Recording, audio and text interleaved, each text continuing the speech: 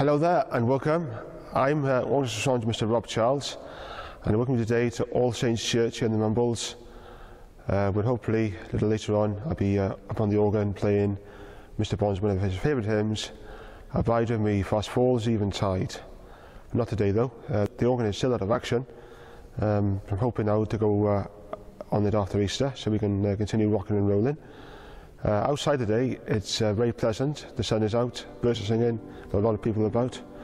So I'm going to go outside now to have a wander about, really, So do some uh, test shots as I'm inside not right now talking on my uh, on my uh, mic there. So without any further ado now, folks, I think we'll head out now and wander around, as I say, and have a nice Joe's ice cream.